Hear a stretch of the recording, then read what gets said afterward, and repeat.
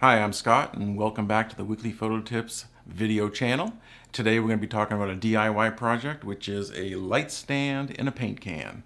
Uh, and to give credit where credit is due, I was watching a video uh, from Jim over at Pro Photo Life uh, and saw this idea there. And actually, if you go there and look at their videos, in episode four, they do an entire studio shoot setup using just these uh, paint can light stands. Say that three times really fast. Uh, let me tell you how I made mine.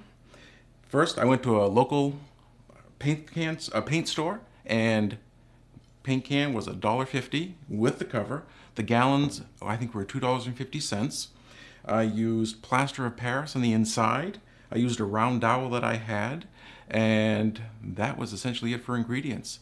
Now, how I did it was the end of the uh, stick that went into the uh, can, I pre-drilled the holes and put nails in them. And I put the nails in them for two reasons. One, so that it would help me stir, because I mixed it actually right in the paint can. And two, if you're like me, chances are you're not going to come over to your can and pick it up like this.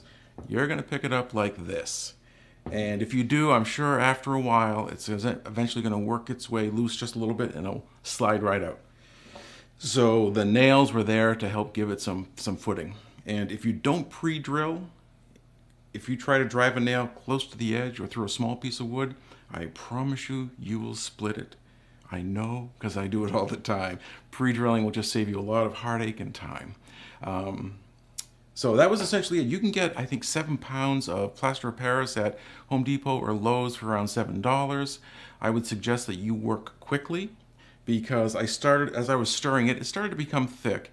And I walked about 10 feet away to get my level so I could make sure I had it correct. By the time I got back, it wasn't going anywhere. So luckily, I had gotten it pretty straight.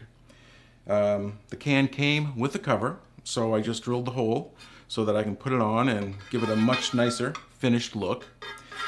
But chances are, again, if you're like me, you're not going to get the hole perfectly centered.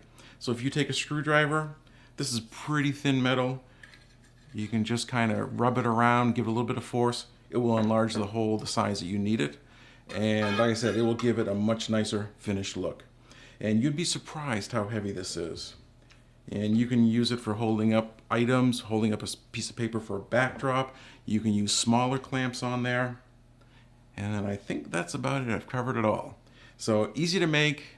You can use a used paint can so you can cut down on that cost as well. And I think that's about it on the DIY paint can and a light stand. Thanks for coming to the Weekly Photo Tips video channel. We'll see you again next time.